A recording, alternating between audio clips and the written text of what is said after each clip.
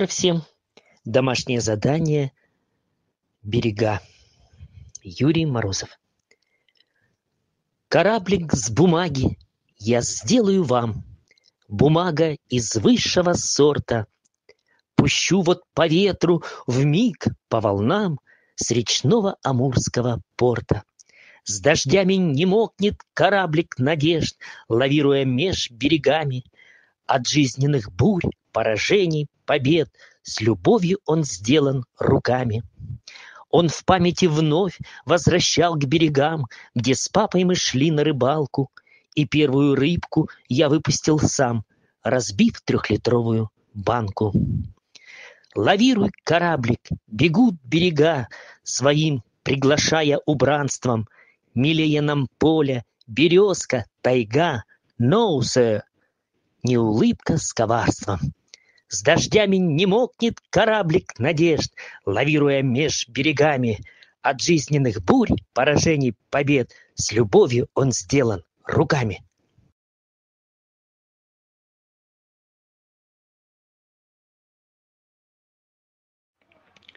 Берега. Два берега, два государства, огромных два великих царства. Россия и Китай, соседи, ведут между собой беседы. Амур великий между ними, там берега в небесной сине, Красавец мост, он бесподобный, и транспорт, что бежит свободно — Друг другу в гости приглашают, и дети страны посещают, концерты, песни и торговля. Здесь все взаимно, честно, вольно. А берег левый, берег правый гордятся дружбою по праву.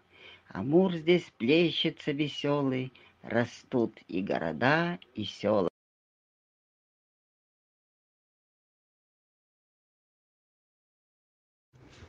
Татьяна Мордовская.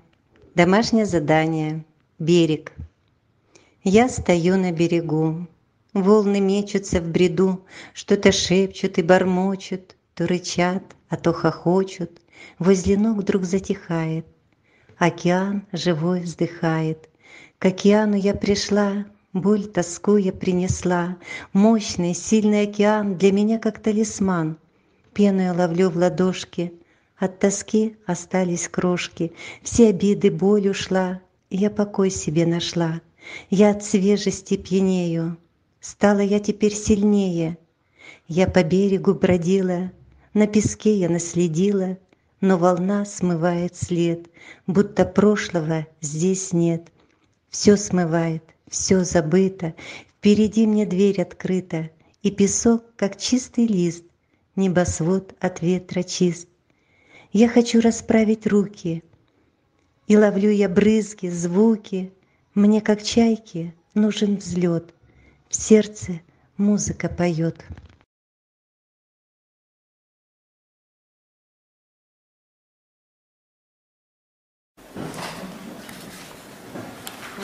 Амурские берега. Над Амуром тишина, Ночь пришла на смену дня. Летом были берега зелены, но осенью они чуть видны. Все багряные покрыты листвой, вялые, жухлые, укрыты травой. Берега Амура круты, неприступны в гранитной броне. Пограничный пост на скале. Вдоль границы у нас тишина, верит в крепость ее страна. Чужой берег и есть чужой, недружелюбный и не родной. Свято помним мы, как война озарила собой небеса. На Даманском была она. Пограничники гибли, сражаясь, а китайцы все улыбались. Карту наших земель краили, дружбе верность они не хранили.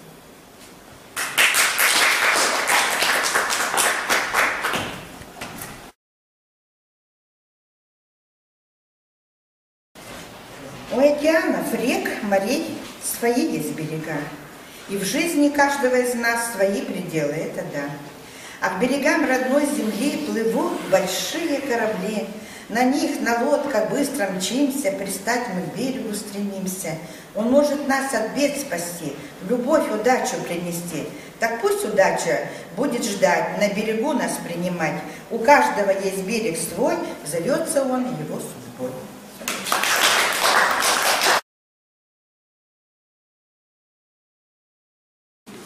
Берег. Берег есть у каждого из нас.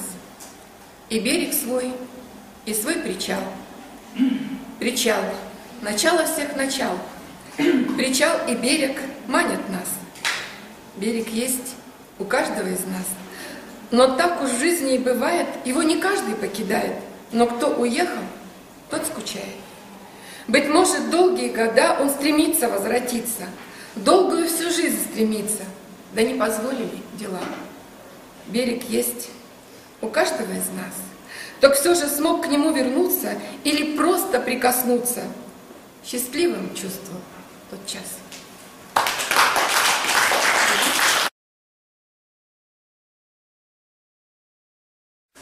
На берегу моря в первый раз волны вскипая бьются о ноги, летают чайки, плещется баркас, рассеялась усталость с дороги. На берег Средиземного моря легкая наползает прохлада. Здесь народ отдыхает без горя, кто по привычке, кому награда. За спиной дивный рай побережья, пальмы, бугенвилии, лианы. Босиком по траве прохожу я, в амбре алиандры, алиандра и лантаны. Кругом отели дворцы, строй колонн, в бассейн окунулась и на шезлонг. Прекрасен бархатный сезон, лицезрею водный аттракцион. Какой-то отдых полумертвецкий. Неделю лежу, какого рожна. Да не нужен мне берег турецкий, родная земля Амура нужна.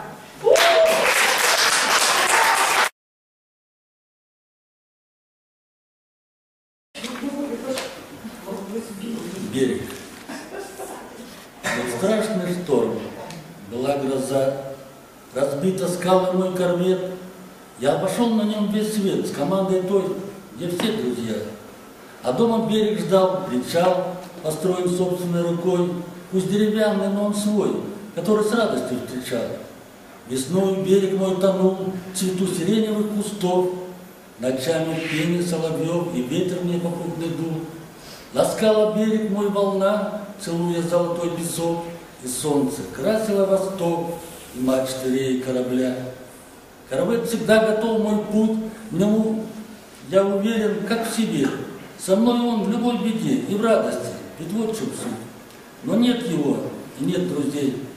Вблизи не видно берегов, лишь щепки от его бортов. Как выжить цель всего важнее. Родной мне берег не найти, не ждет меня и мой причал, что был началом всех начал любого моего пути. Я доплыву, мне хватит сил, умер я в здравом не приду, и берег тот, что я найду, быть может, станет люб и мил.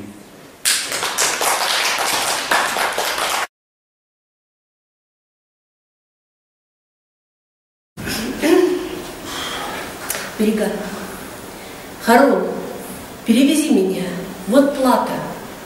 Да, я живой, пока на этом берегу. Но мне не нужно славы, денег, злата, и жизнь свою не слишком берегу. Ты помнишь девушку, что вез недавно?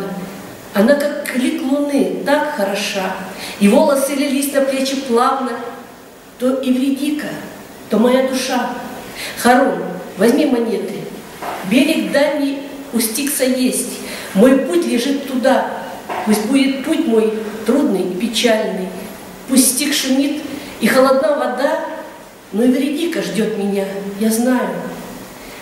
Ты наши берега соедини, Харон. Прошу тебя, тебя я умоляю. Я перейду и этот Рубикон. Меня страшит тот берег. Слышу крики, там души стонут. Но еще страшней остаться без любви, без Ивредики.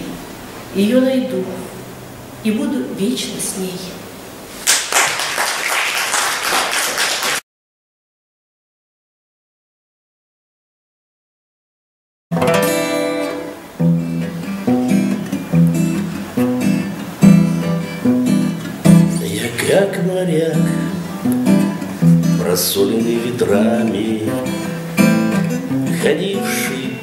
Бушующим морям.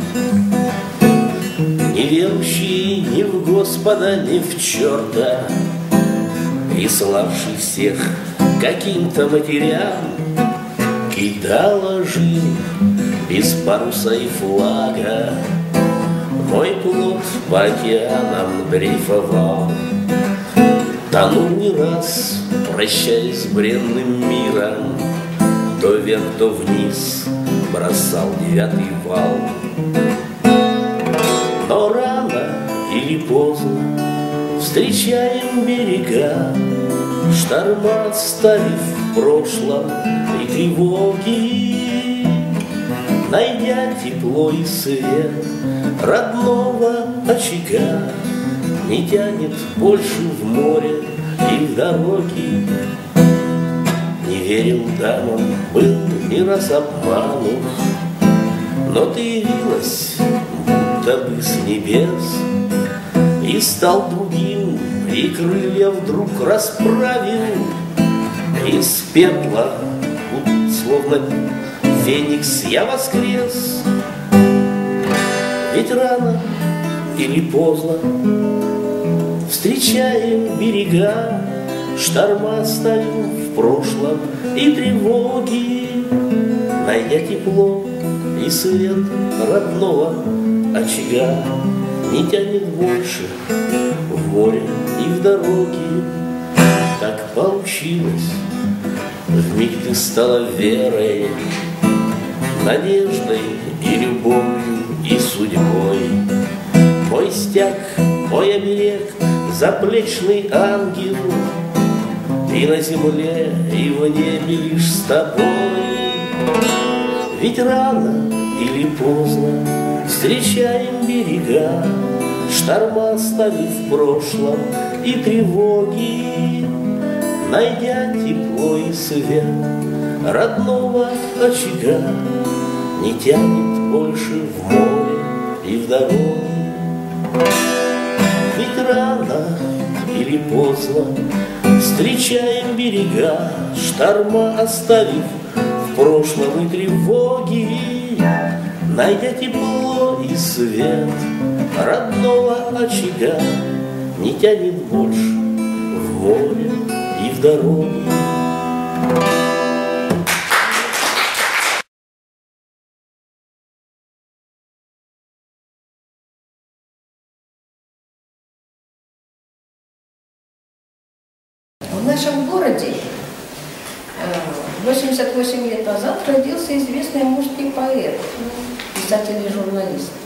Игорь Алексеевич Еремин. Но в одном месте я так читаю, в нашем городе юбилей, а, 88 лет отмечал назад. А родился он 17 сентября 1934 года в селе Понзари, сам Пурского района Тамбовской области. Родился он Родился, здесь, а умер да. А отмечал юбилей, отмечали юбилей 88 лет. А Значит, Игорь Еремин был старшим ребенком в многодетной семье, четыре мальчика и девочка. Детство будущего поэта пришлось на военные годы. Семья Еремина переехала на Дальний Восток в 1952 году в село Волочаевку Хабаровского края. Отец Алексей Акимович учительствовал, а мать Зоя Васильевна занималась домашним хозяйством. Первые стихи Игорь Еремин начал писать в старших классах. После окончания школы поступил в Боговещенский государственный педагогический институт, ныне университет, на историко-филологический факультет. В 1956 году в небольшом коллективном сборнике состоялась первая публикация Еремина «Стихотворение биографии старой леса». Благодаря многочисленным публикациям в литературно-художественном журнале «Наш современник» Еремин еще при жизни стал известен широкой читательской аудитории и получил всероссийское признание. В связи с тяжелым материальным положением Еремин Игорь Еремин перевелся на заочное отделение и стал работать журналистом в газете «Амурский комсомолец». В 60 году, окончив институт, Еремин вернулся в родной Молочаевку, работал учителем. В 62 году вместе с семьей переехал в город Белогорск. Работал начальником отдела писем и вел литературную страничку в районной Белогорской газете «Ленинский путь». В 1963 году в коллективном сборнике начинающих амурских поэтов «Березовый окна» была опубликована первая подборка стихотворений, которая называлась «Весны». Вот, в 1966 году Еремин с семьей переехал в Биробиджан, работал в газете «Биробиджанская звезда» в конце 60-х, снова вернулся в Белогорск. В 69-70-м стихи Еремина были напечатаны на страницах журнала «Наш современник». В 70-е также активно публиковался в альманахе «Преамурье». Я вот у меня много этих, что-то я не пересмотрела этот альманах «Преамурье», возможно, и нашла. Еще бережешь? Да. Это наша семейная традиция. В 1972 году вышел сборник «Ладони», в котором отчетливо обозначил главная тема всего поэтического творчества Игоря Еремина «Судьбы Родины и народа». Свое название книга получила по одноименному стихотворению, лирический герой которого труженик, всю жизнь посвятивший работе на земле, а в страшные военные годы самоотверженно защищавший ее от захватчиков. Э, стихотворение символ человеческого трудолюбия. Так, еще что тут? Член Союза писателей СССР с 1975 года. Два сборника вышли Еремин, Сердцевина и Окаем. В 1979 он переехал в Благовещенск. В 1982 году был опубликован сборник стихотворений «Большой», который лишь общее заглавие которому дала именная поэма. Эта книга стала последним прижизненным изданием Игоря Гедонина. Ведущими темами поэтического творчества Еремина стали тема Родины и народа, труженика, созидателя, защитника Отечества. 25 апреля 1983 года он скончался от сердечного приступа, похоронен в Благовещенске. В 1984 году вышел сборник «Зрелость», который он успел подготовить. В сентябре 4 2004 года в Белогорске, на доме, где жил Игорь Еремин, установлена мемориальная доска. И вот и самое интересное, я вчера была на концерте Сергея Викулова. Александра Викулова. Александра А вот еще, э, а тут написано, известный советский поэт Сергей еще Викулов, почему я ошиблась, Александр, Александр, известный советский поэт Сергей Викулов, заканчивая свое вступительное слово к сборнику земной корни Еремина, восклицает «Поистине, поистине богата ты талантами земля». Ну и тут у меня приводится несколько стихотворений. Стихотворение читать? Вот. Чтобы понять душу поэта, говорят, надо заглянуть в нее, пройти вместе с ним его дорогу. Живет дорога век от века, и миновать ее нельзя. В, судьбу, в судьбе любого человека она то стежка, то стезя. Но вот что важно, все дороги, как ни зовут их на веку, ведут в конечном-то итоге к дороге главной, Большаку. Так тянутся помельче реки, к большой, которую какую ни возьми, так это тяга к человеке, к единой общности, к своей. Большак, он через всю Россию пролег, как в небе Млечный путь. Лишь космонавту и под силу на эту даль его взглянуть. Еще он писал про войну. Война, она как будто не нервом болящим сделала большак. Тот час рассветный в сорок первом, тряся его и так, и сяк, и вся Россия содрогнулась, но не от страха, от того, что боль души ее коснулась, что мир ей был нужнее всего. Но и страдая не согнулась, а с тем бывалым вещмешком под бабьей всхлипы потянулась уже великим большаком. Я жил на траурной земле, как на большом погосте. Кресты глаза кололи мне, как стрещенные кости. Кресты на крыльях высоты и самолеты сами похожи были на кресты над бреющим над нами.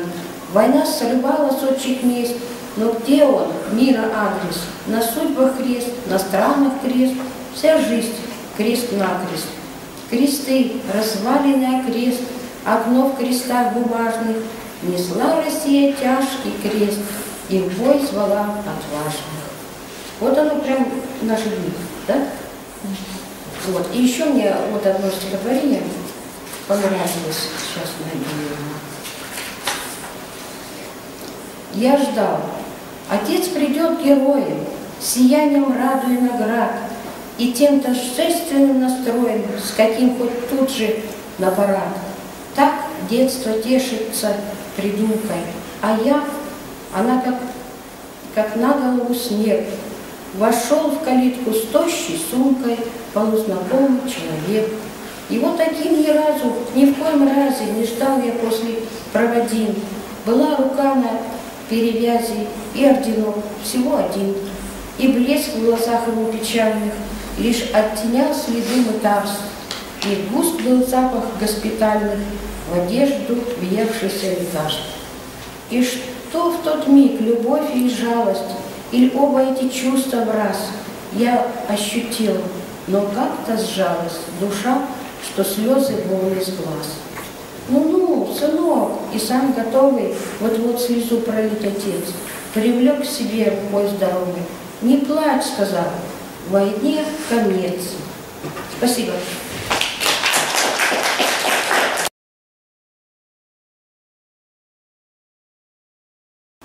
В областной библиотеке там есть такие персонали, то есть по каждому поэту что-то есть. Ну, вот даже здесь я нашел его, то с газеты, с газеты просто фотографии его стихотворения, сейчас прочту. Стихи актриса прочитала, потом сказала, хорошо, они не тем, что строк в них мало, а тем, что много в них души. Но и она ведь столько чувства вложила в чтение свое, являя подлинность искусства нам, почитателям ее, стихи. Они звучат повсюду, с эстрады и через эфир, когда они подобны чуду, и легче жить, и краше мир. Но от чего, от чего ж так редко чудо? На вид стихи, но смысл но тон бренчат, как битая посуда, когда ее выносят вон. Не мастера самозванцы проходят с некоторых пор на сцену, будто бы на танцы. Кто в круг вступил, тот и танцор. А тут иное, тут по праву. Она актриса из актрис, не зарабатывает славу, хотя и вызвана на бис. Успех, но в том и суть секрета, что выражение свое нашел большой талант поэта через большой талант ее. Но эта редкость тем дороже искусство нам, как все равно, к примеру, золото, ведь тоже куда, как редкостно оно.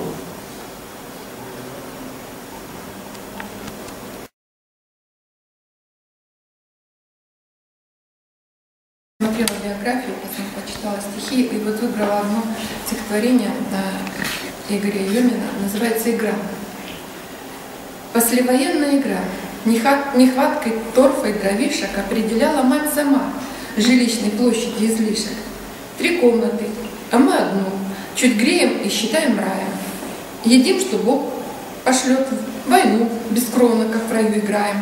Игрушек бы, но я давал во всю простор воображения и превращался в танк диван, а стул в его вооружение.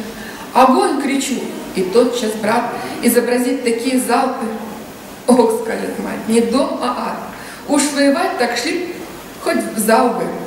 А в зале пылью снеговой зима углы посеребрила. Мы тут как на передовой, ведь там едва теплее было. Играем шагом и бегом, Ах, жаль, что так малы мы дети.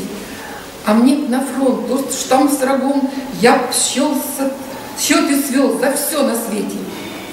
И мы, как прежде по ночам, привыкнув, затемняем рамы, и ходит батя по ночам, по врачам, и залечить не может раны. И голод, как военный год, когда и малые крохи рады. Огонь, аж раздирая рот, от криков пусть летят снаряды. Солдатики взывает мать. Ведь так в войне пройдет все детство. Пора б на мирный лад играть. И гонит нас на печку греться. А нам с печи из полумглы как раз подручно бить по тиграм. И нет у нас другой игры. Мы к мирным не привыкли играм. Огонь! Я и в кошмарном сне кричу, как вновь одно и то же. Уж так война живет во мне, что и во сне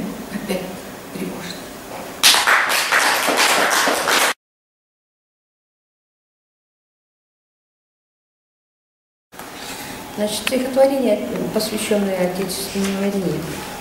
Э, Света в окне.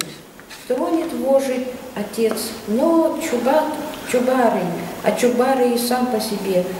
Чуя запах жилья, будто парой, тянет воз торопливо к избе. Далеко еще, но как указкой тычет батя кнутом в темноту. Ждут, басит он, со сдержанной ласки, свет во тьме, разглядев за версту.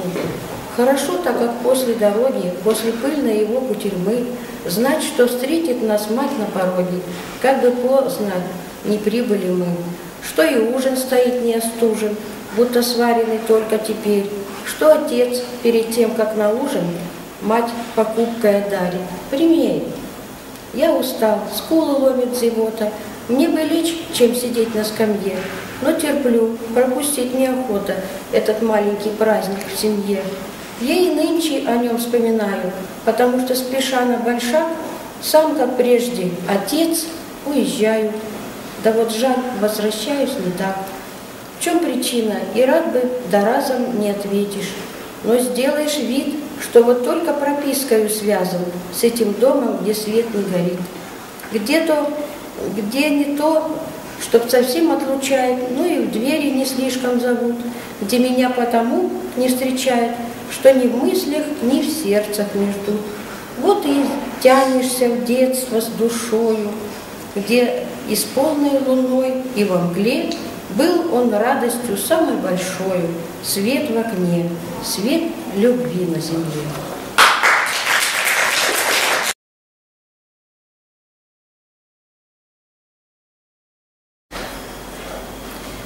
Знает тот, кто голодал хоть малость, что за мука сутками не есть. Я с утра одной мыслью маюсь. Может, что-то хоть к обеду есть. День за днем скудеет наша пища, Мать бывало встанет на заре, И, глядишь, муки чуток со днища В обмельчавшем наскребет ларе. Пусть и с горьким привкусом полыни, И с изрядной долей отрубей. Пусть нельзя себе представить ныне хлеба и безвкусней, и грубей, но тогда с картошкой в мундире в нашем незатейливом меню не считаю хлеб тут в худшем мире. Жалко лишь, что был он раз на дню, а потом и этого не стало, а потом и вовсе ничего.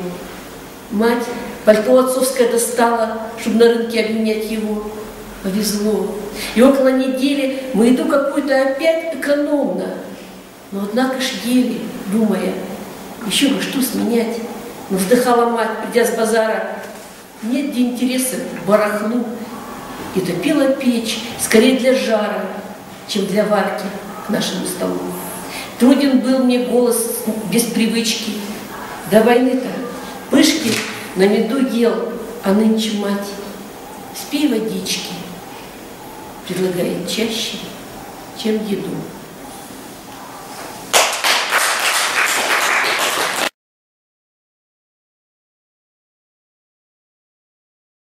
Своем труде.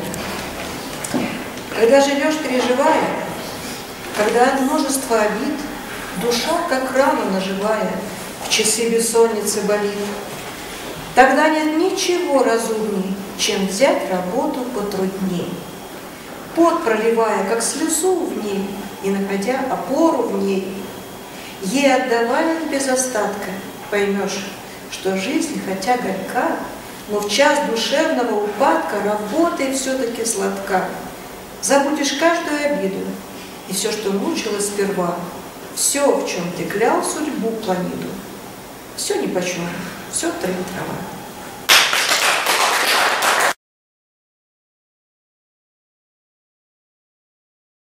Другие с очами, и личиком светлым, а я-то ночами беседую с ветром, не с тем италийским зефиром ладым, с хорошим, широким, российским сквозным. Другие всей плотью по плоти плутают, из уст пересохших дыхание глотают, а я руки настежь застыла, столбняк, чтоб выдул мне душу российский сквозняк. Другие, о нежные цепкие путы, нет, с нами Иол обращается круто.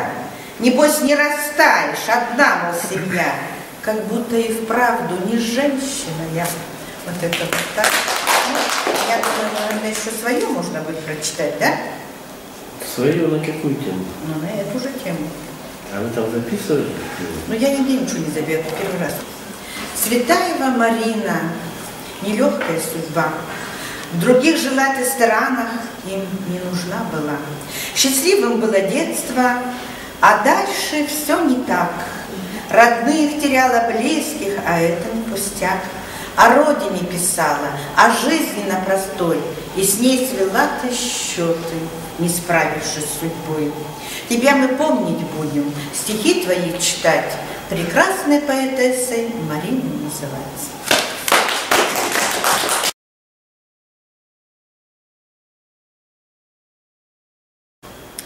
Мы разные, как суша и вода. Мы разные, как лучик с тенью. Вас уверяю, это не беда, а лучшее приобретение. Мы разные. Какая благодать! Прекрасно дополняем мы друг друга. Что одинаковость нам может дать? Лишь ощущение замкнутого круга.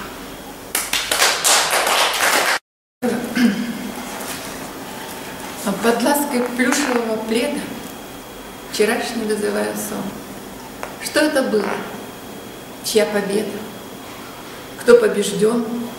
Все передумываю снова, всем перемучиваюсь вновь в том, что для чего не знаю слова. Была любовь. Кто был охотник, кто добыча. Все дьявольски наоборот. Что понял длительно мурлыча сибирский кот? В том поединке своей воли, кто в чьей руке был только мяч, чье сердце, ваше ли, мое ли, летело вскачь. И все-таки, что ж это было? Чего так хочется и жаль? Так и не знаю, победила ли, побеждена ли.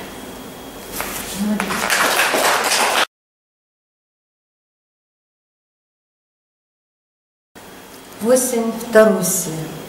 Ясное утро, не жарко, Лугом бежишь налегке, Медленно тянется барка Вниз по оке.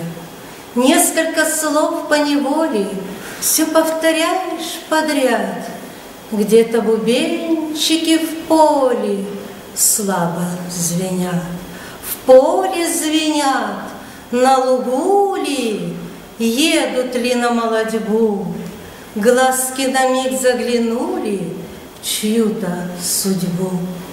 Синяя даль между сосен, говор и гул на гумне, И улыбается осень нашей весне.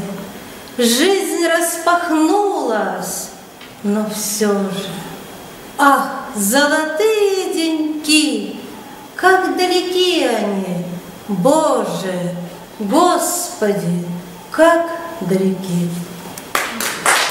Откуда такая нежность? Не первые эти кудри разглаживаю, И губы знавала темней твоих.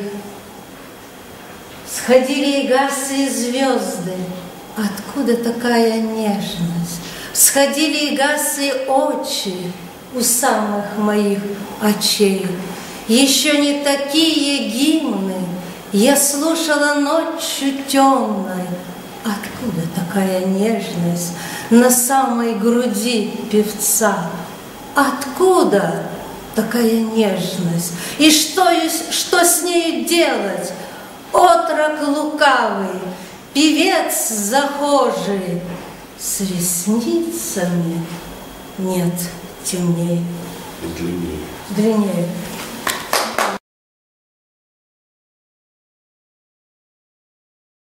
Я счастлива жить, образцово и просто, как солнце, как маятник, как календарь, быть светской пустынницей стройного роста, премудрой, как всякая божья тварь, знать дух мой сподвижник и дух мой вожатый, входить без доклада, как луч и как взгляд, жить так, как пишу, образцово и сжато, как Бог повелел, и друзья не велят.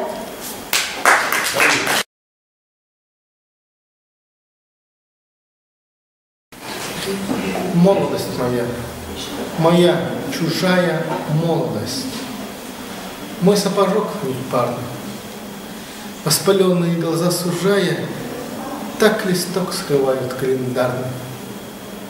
Ничего из всей твоей добычи не взяла задумчивая муза. Молодость моя, назад не кличу, ты была мне ношей и обузой. Ты в ночи нашептывала гребнем, ты в ночи оттачивала стрелы, щедростью твоей давясь, как щебнем, за чужие грехи терпела. Скипетр тебе, вернув до срока, что уже душе до яств и брашно? Молодость моя, моя морока, молодость, мой лоскуток кумашный. Скоро уж из ласточек в колдуньи. Молодость, просимся накануне, Постоим с тобою на ветру, Смуглая моя, утешь сестру. Полыхни малиновую юбкой, молодость моя, Моя голубка смуглая, Разор моей души. Молодость моя, утешь, спляши, Полосни лазоревую шалью, шалая моя, Пошалевали досыта с тобой. Спляши, ошпарь, золотце мое, Прощай, янтарь, Неспроста руки твои касаюсь, Как с любовником с тобой прощаюсь, Вырванная из грудных глубин, Молодость моя, иди другим.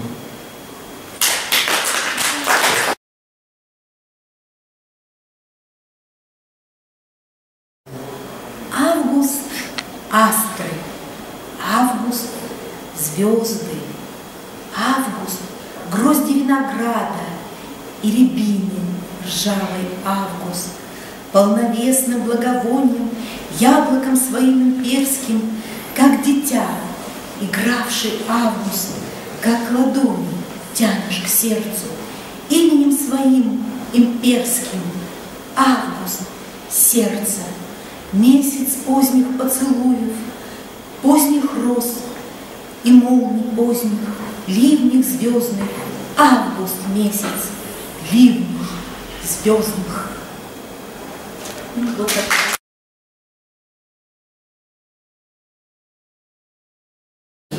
А мы там уже будем разбираться. Ну, я в большей части занимаюсь э, сценариями, ну, также немного э, постановкой. Э, Ну, все, что максимум можно подвязать, это как раз сценаристика и сценарное искусство. Ну, я там пару книг уже прочитал по теме. А вы учитесь? А Сейчас, да, в колледже. Какого? А в каком? А, Политехнический. Уже на четвертом курсе, ну, в следующем году выпуск будет. А специальность? А, элек- м, Сетевая безопасность. Ну, компьютерных сетей. А вот вопрос такой, вот э, ты все-таки кому-то предлагал, у тебя есть готовые сценарии? Э? Нет, просто. Ты просто почему-то хочешь писать их, да? Ну да. А вот опять же, для того, чтобы писать, ты что-то вообще литературное писал? Ну, литературное я не писал. Ну, сценарий ты тоже как бы литература-то. связаны интересы вот эти, Да, вот, что да, да. Отец, может быть, занимался, или как? Вот откуда я это пришло? вот, э, сам. Что это? Ну, я всегда с детства там Ну. что-то придумывал, поэтому решил туда пойти. Не, просто понимаешь как, вот для того, чтобы писать сценарий, хоть так, вот так нужно в литературе хотя бы что-то писать. Потому что э, там вот на резиденции был у нас э, парень, э, Кулешов такой, благовещенец. Он э, пишет э, сценарий к играм. То есть игры, которые... Компьютерные игры, но он пишет, там же идет история, вот он пишет эти истории, эти истории там и на японский язык, ну, то есть большие фильмы пишет, э, две фильма он пишет. Вот. А у Он- вас на какие темы, Артем? Как? А, Чем связано? Ну, я, получается, больше в комиксы, то есть я как бы самостоятельно хочу и типа, сценарий сделать, и нарисовать все это, так что... А сам рисуешь? а, Ну, пока только учусь рисовать. Просто получается, видишь, как ты ставишь большие цели, большие цели. Здесь вопрос такой, рисовать можно учиться всю жизнь, правильно? Писать также. Нет, ну, получается, рисовать там не надо не там в фотореализме, а в стилизации. Ну, понятно, база там нужна, чтобы просто понимать. Ты имеешь в виду в компьютерном виде, ты хочешь то А, Ну, пока что в Карандаши. традиционном, но потом, да, перейдем в компьютер. Но у тебя получается вообще, кому-то показывал, так что. Так Ну, он потому и подошел к нам вчера. а, ну, По-моему, да? я пока что только... Он говорит, кому мне подойти? Он сказал, кому мне подойти, кому обратиться, расскажите, посоветуйте. Ну, конечно, не литературно, э, типа прямолинейно. С- Рассказывать, в смысле, как э, с самого начала истории до конца, или как это будет потом сделано. Можно от начала до конца, но просто это коротко. Ну, чуть-чуть так. Знаешь, как бойцов, бойцов, знаешь, как в армии учат? Кратко и понятно. В упоре лежа. Нет, а кто герой, какая тема? Сразу быстро будешь рассказывать. Герой, тема, да? Не, ну примерно, вот, расскажи какой-нибудь один сюжет, э, что, ты- что ты хочешь, допустим. Примерно, какая тематика, там, фэнтези, не фэнтези, что ты... Ну, больше фантастики. Не Реализм У тебя есть ну, коротенький, что-то такое? есть, нет. Не матершинное, я понял. Не, не совершенно.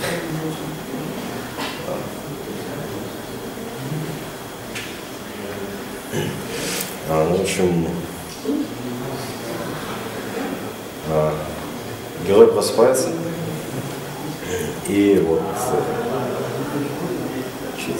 э, его учитель объясняет ему то, что вот он представитель э, как раз ну, типа космической расы, создан, чтобы защищать человечество, и они ну, после небольшого обучения он показывает первые практические уроки, а, на которых этот ученик как раз и замечает, ну, не только учится, но еще и а, видит человеч, ну, человечность, с, ну, какая ситуация. А, в общем, как э, мужчина защитил не своего ребенка от э, ну, чудовища, которое однозначно сильнее его. И это э, главного героя ну, тронуло, потому что, понятно, он, он сильнее, быстрее, выносливее, он намного э, больше подходит для защиты, но человек, пускай и слабый, все равно пытался защитить, причем не своего.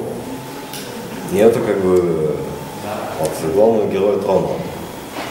А Потом идет э, период обучения, и в конечном итоге он узнает, что э, человечество защищается не просто из каких-то высоких альтруистических побуждений, а из-за того, что э, для рождения э, существ, которые и создали его и его учителя, нужно очень большое количество разумных существ.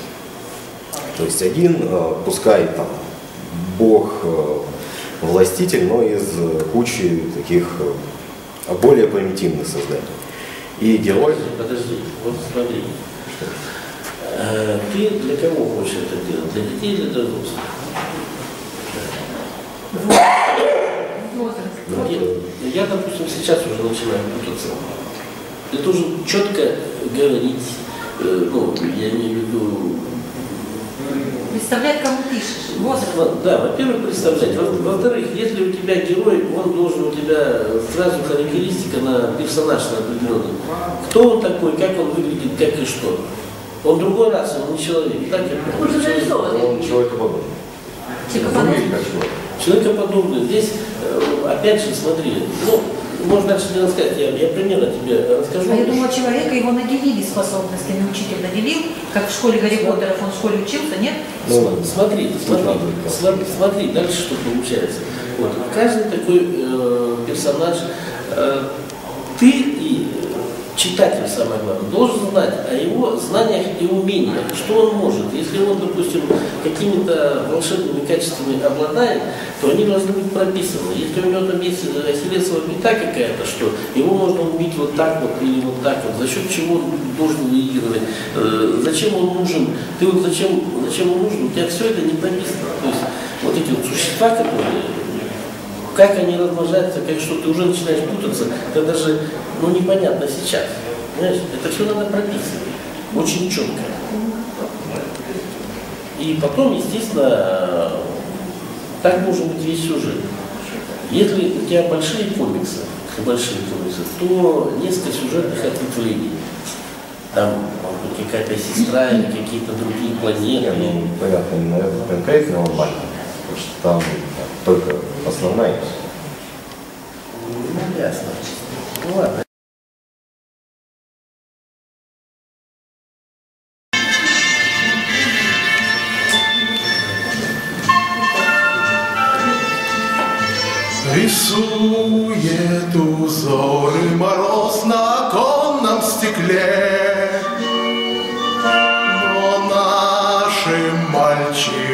Сидеть не по нраву в тепле. Мальчишки, мальчишки несутся по снежным горам. Мальчишки, мальчишки, ну как не завидовать вам? Мальчишки, мальчишки несутся по снежным горам. Мальчишки, мальчишки, ну как не завидовать вам? На вечере школьном задорные вальсы звучат. Впервые робея мальчишки глядят на девчат. Мальчишки, мальчишки, вдруг сердце забилось Мальчишки, мальчишки, что будет у нас впереди?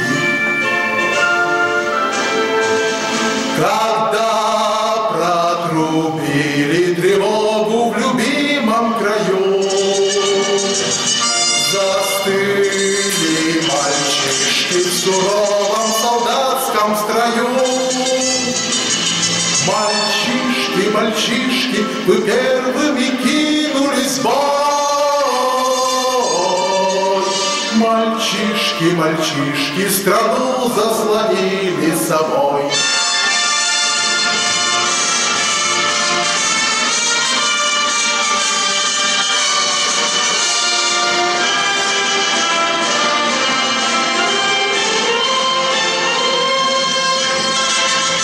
Мальчишки, мальчишки, вы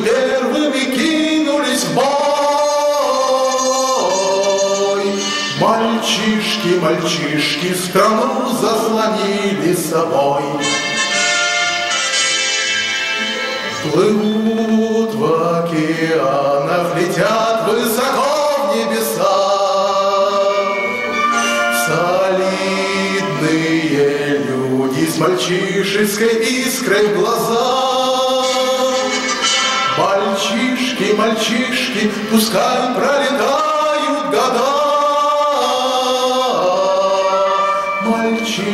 мальчишки для нас, вы мальчишки всегда. Мальчишки, мальчишки, пускай пролетают года.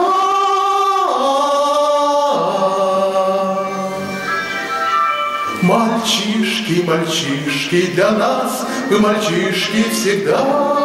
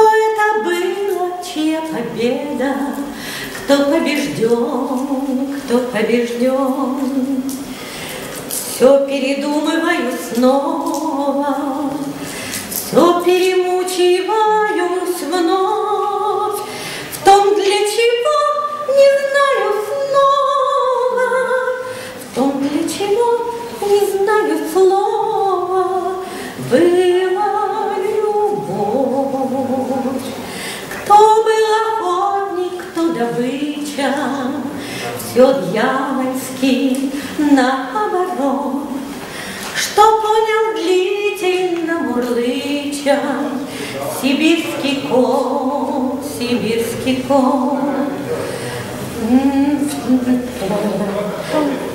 В том поединке своей воли, то в чьей руке был только мяч, чье сердце ваше ли, мое ли, чье сердце ваше ли, мое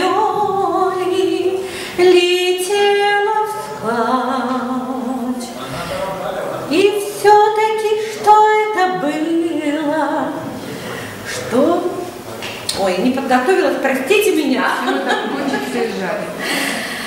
И, и все-таки, что ж это было, чего так хочется и жаль, так и не знаю, победила, так и не знаю, победила. А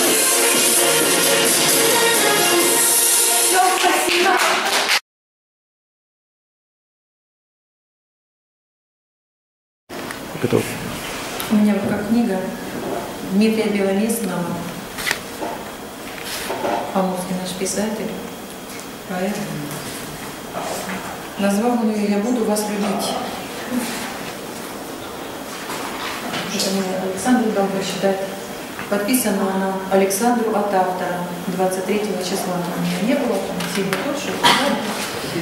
Вот. «Я буду вас любить» — это первое стихотворение, он обращается к своим потомкам, к детям, к внукам и даже те, кто, к тем, кто родится позже. Красивое стихотворение. Я прочитала книгу и прочту те стихотворения, которые сильно меня очень затронули. Называется «Мужики». На фотографии Валерий Приемов. Мужики. Пусть звезды на плечах невелики, И на груди наград не так уж много, Но есть еще в России мужики, С кем не страшна нелегкая дорога. Такой совсем не лезет с кожи вон, Чтобы его заметил кто-то свыше, И друга не предаст за миллион. И ринется на помощь, сос услышав, Не за медали, и не за значки идет он в бой без лишних разговоров. Лишь сузятся в опасности зрачки, да зубы стиснет, молча, до упора. Есть на Руси такие мужики, рукастые и с незлобивым сердцем, но иногда играет в желваки и выдаст что-нибудь покрепче перца. Так и живет он свой конкретный век, невзгоды на своих плечах выносит, хороший и надежный человек, который в трудный час тебя не бросит. 2018 год.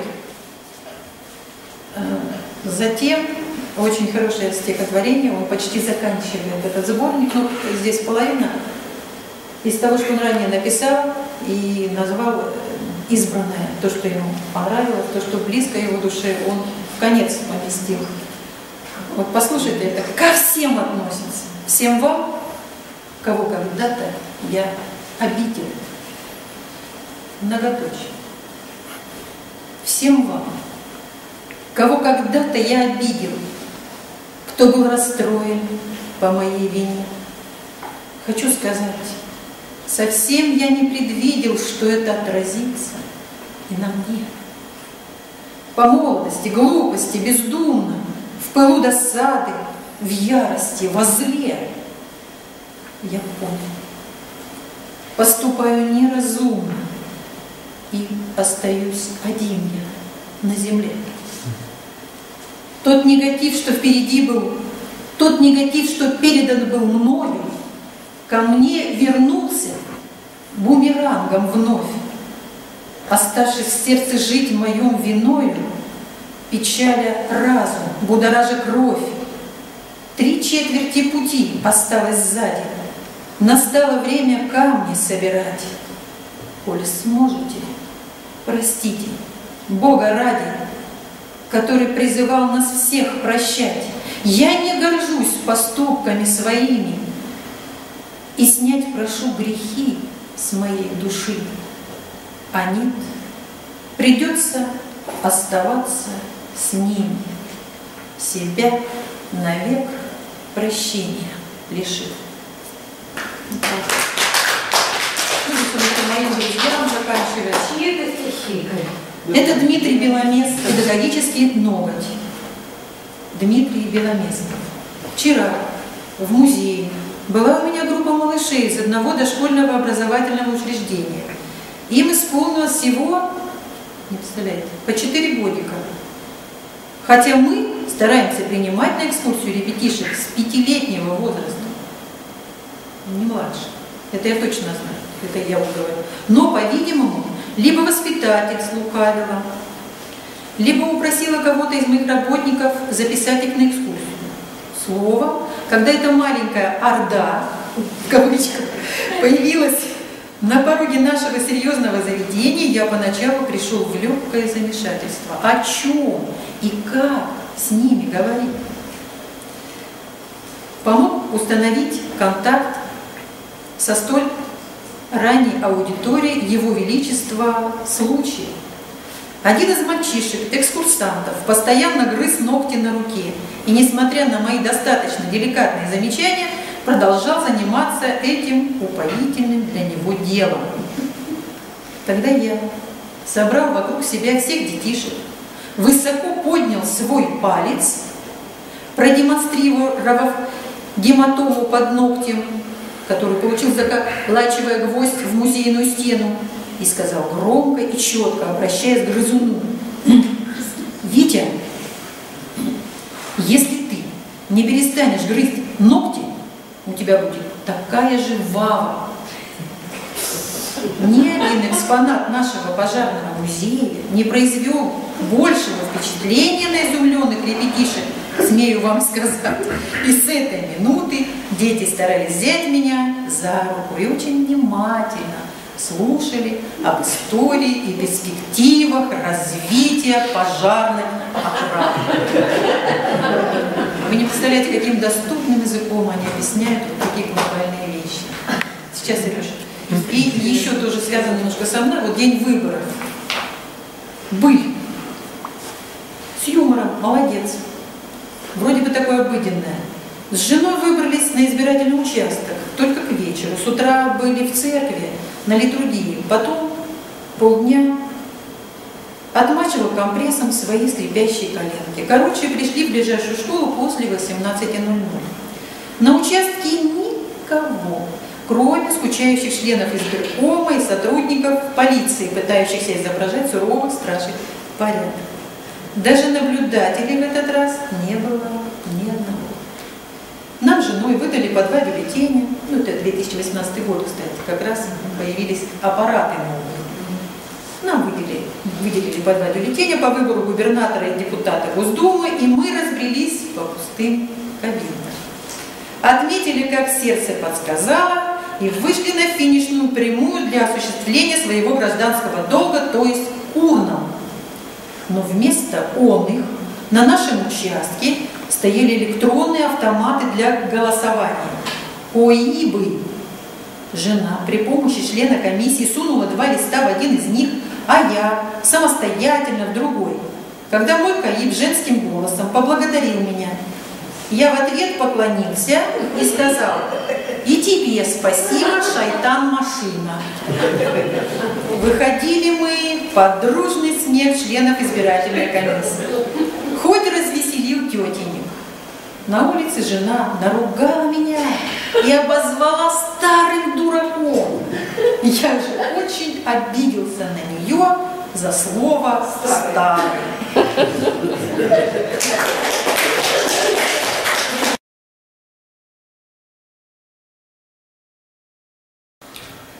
Становится все краше Благовещенск.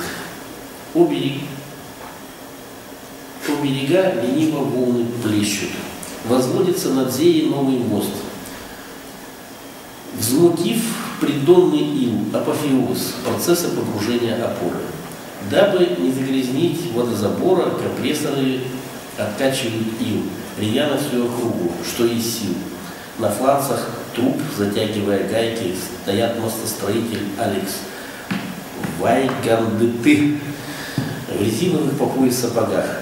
Вода и ил бурлили, на волнах мелькала вся облепленная тиной, поднятая с дна реки пластина. Она всплыла нежданно из-под ног, наткнувшись на резиновый сапог. На 1 мая, великий день субботы, однако первым делом самолеты, а девушки, а паста, все потом. А к Вайганта ногам принес поток под V-образным мостовым пилоном из Безеи древнюю икону. Зосима из Саватия святых, ни сном, ни духом, как удар под дых. То есть получалось, что э, тогда была Пасха 1 мая, и как раз вот э, под этот день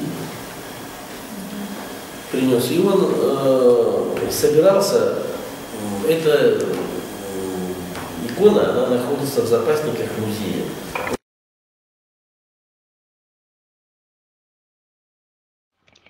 Зейские берега. Но есть еще одна река, здесь золотые берега. И Благовещенск омывает Зея красавица, все знают. Построен через Зею мост, характер Зеи, ох, непрост. Она вольна и так строптива, волною плещется игриво. Достроит скоро новый мост, поток машин в разы возрос. Разросся Благовещенск сильно, сельхозпродукция обильна. А селам будет веселей справляться с трудностями дней, Разгрузят очередь на старом, быстрее проезжать товаром. Заселятся и берега, придет движение река, Появится и смех, и песни, народ наш песнями известен. Азейская им наша ГЭС пошлет энергию, прогресс. Вперед, друзья, не унывайте, свою энергию вливайте. Красивы наши берега, любовь прошла через века, Амур наш гордый величавый, подруга Зея своенравна.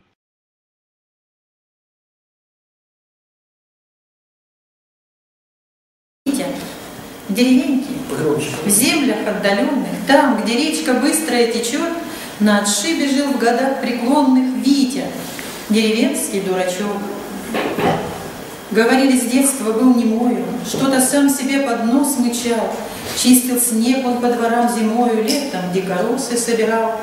И никто в деревне уж не помнил, что казнили много лет назад Витиных родителей в исподнем на груди с табличкой «Партизан». Дуракам закон у нас не писан, жизнью был доволен он вполне. Как-то раз приехали артисты фильм снимать в деревне о войне. Русская забытая деревня, впавшая в тяжелый вязкий сон, не согнали сна оцепенения даже Гитлер и Наполеон. Вышли в форме вермахта актеры на площадку, и герой-актер под кинохлопушку режиссера по команде «Тишина! Мотор!» В партизана перевоплотился он под лай натасканных собак по наполью к лесу устремился. Там стояла Витина изба. Шли за ним фашисты длинной цепью по следам из шмайсеров поля. Но когда он поравнялся с дверью, что-то перепуталось в ролях. Незнакомый дед вдруг отпер дверь, выскочил и побежал двором, вероятно, с режиссером сверив то, что называется экспромт.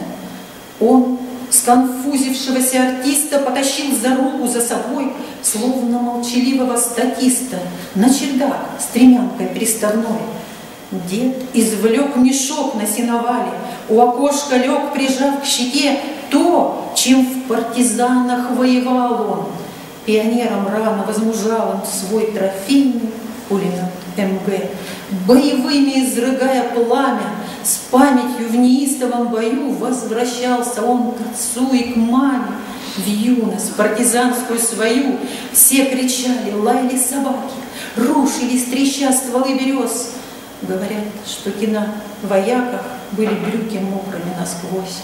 Он за все спросил с проклятых немцев, но внезапно обессилев с ним, позже скажет, и сердцем, так унес свою войну старик. Кроме Вити, все остались живы. Раненых отправили в район, стали добровольные дружины охранять порядок и закон. Мирно головою в небе чистом нашептались люди по стране, что в одной деревне террористы расстреляли всех киноартистов. Вот такая правда о войне.